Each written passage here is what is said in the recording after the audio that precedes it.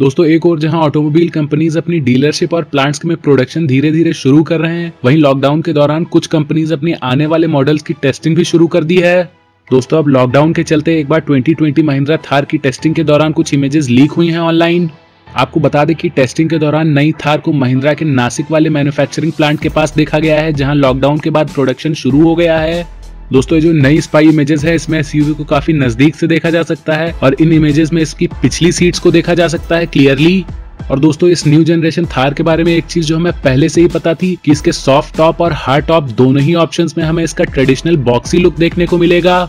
अब दोस्तों, ये जो नई लीक इमेजेस सामने आई हैं महिंद्रा थार से रिलेटेड इनमें हम साफ़ देख सकते हैं कि इसमें हमें चौकोर टाइप की खिड़कियाँ देखने को मिलेंगी दोनों ही साइड और ये भी पॉसिबिलिटीज है कि इसमें आपको स्लाइडिंग विंडोज़ देखने को मिल सकती हैं।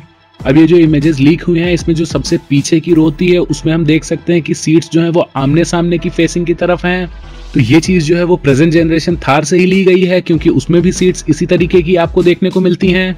आपको बता दें कि ये जो न्यू जनरेशन थार टेस्टिंग के दौरान देखी गई है, इसमें आपको halogen headlamps five spoke alloy wheels नए बम्पर विंग मिरर्स और फेंडर माउंटेड टर्न इंडिकेटर्स दिए गए हैं। और ये जो न्यू जनरेशन थार टेस्टिंग के दौरान देखी गई है, ये टॉप वेरिएंट है और इसमें आपको काफ़ी ज़्यादा बॉक्सी लुक मिलता है, जो कि टिपिकल बॉक्सी लुक है महिंद्रा थार का। और इस बॉक्सी लुक की वजह से ये काफ़ी ज़्यादा बड़ी नज़र आ रही है। और जो न्यू जनरेशन थार की इंटीरियर्स की फ़ोटो है, अभी वो ज़्यादा कायदे से सामने नहीं आई हैं, लेकिन माना जा रहा है कि इसके इंटीरियर्स में भी हमें काफ़ी ज़्यादा चेंजेस देखने को मिलेंगे। और इसमें इंक्लूड हो सकते हैं बेहतर क्वालिटी के upholstery premium seats front facing rear seats सभी मॉडल्स में touch screen infotainment system auto climate control और इसी के साथ हमें कई एडवांस फीचर्स भी इसमें देखने को मिल सकते हैं। और वहीं सेफ्टी के लिहाज से ऐसा माना जा रहा है कि इसमें आपको dual front air bag rear parking sensor speed alert system और ऐसे ही फीचर्स देखने को मिल जाएँगे। तो दोस्तों न्यू जनरेशन थार का हम सबको बेसब्री से इंतज़ार है और जल्द ही हम उम्मीद करते हैं कि इसे लॉन्च करें महिंद्रा इंडियन मार्केट में।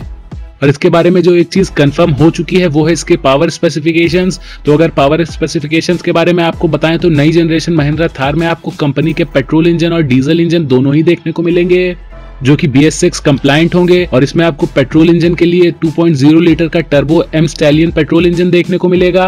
और वहीं अगर डीजल इंजन की बात करें तो इसमें आपको टर्बो 2.2 लीटर डीजल इंजन देखने को मिलेगा। और इन सब चीज़ों के साथ ये कंबाइन की जा सकती है six speed manual gear box के साथ। तो दोस्तों, ये थी सारी नई जानकारी जो कि अब तक हमारे सामने आई है।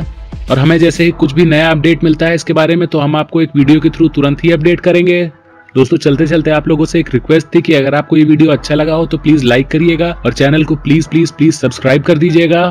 क्योंकि दोस्तों, बहुत ही ज़्यादा मेहनत लगती है मुझे ये वीडियोस बनाने में और अगर आप इसे थोड़ा सा अप्रिशिएट कर सकेंगे तो वो मेरे लिए बहुत ही मायने रखता है। तो दोस्तों, आप लोगों की क्या राय है न्यू जनरेशन थार के बारे में, कमेंट बॉक्स में बताना मत भूलिएगा।